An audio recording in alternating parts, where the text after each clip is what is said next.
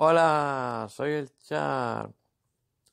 Hoy voy a hablar de un anime que vi hace mucho tiempo, que está basado en un manga. Bueno, el anime solo son dos capítulos, que se llama el anime Angel Densetsu, que es la leyenda del ángel.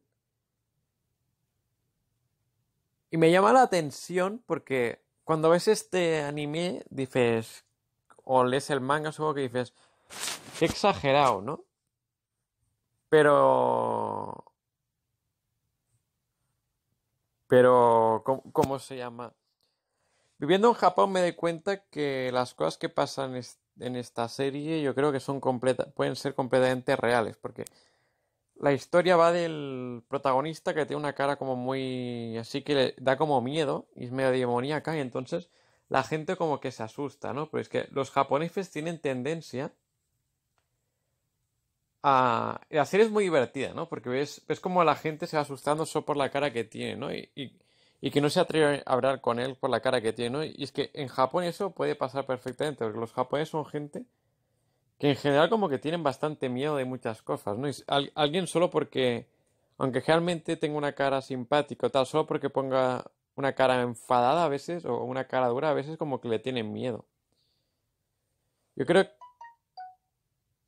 yo, yo creo que este que esta serie refleja bastante eso, ¿no?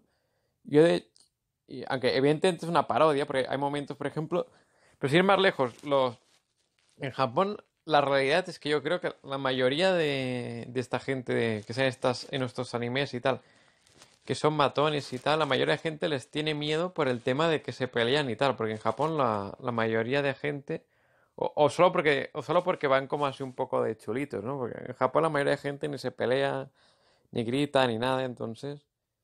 Eso, ¿no? Pero la, parte graciosa es que en la serie, estos matones como que lo ven y, creen que el protagonista es, un, es una persona que se droga o algo así, o, o, que, o que es un asesino, ¿no? Y entonces como que tiene.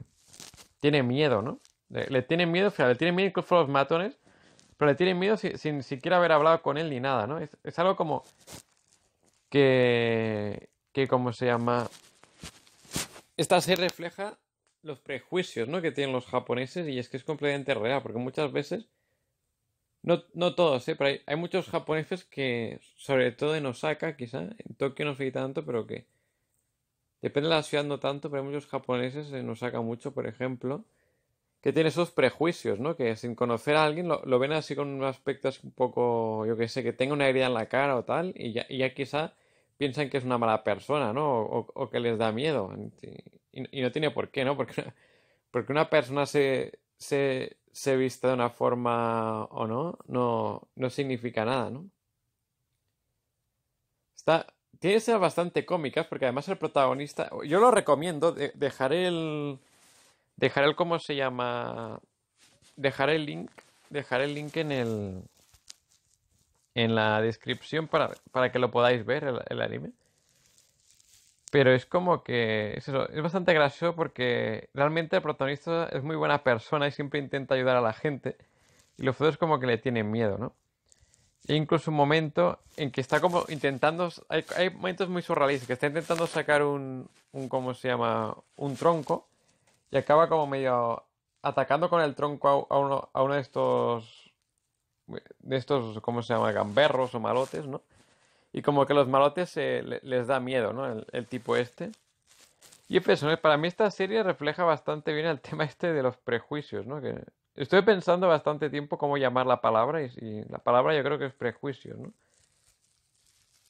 Que sin, sin haber hablado con alguien, en Japón hay muchos prejuicios, ¿no? Que sea, ejemplo, hay muchos prejuicios en Japón por la gente que va vestida como de negro, ¿no? Que dices, es como raro, ¿no? O sea, o sea, no. Porque alguien vaya vestido todo de negro no significa que sea un delincuente, ¿no? Y, después también el, el, ¿cómo se llama? Una cosa curiosa también que tienen en Japón a veces es el tema de que la gente que lleva barba hay gente que piensa que son como medio delincuentes o mierdas de estas. Cosas muy raras. También me llama la atención un momento en que uno coge un cuchillo y el protagonista se piensa que se va a suicidar, el chico este. Pero bueno, el protagonista es, es tan bueno que parece casi tonto. Suscríbete.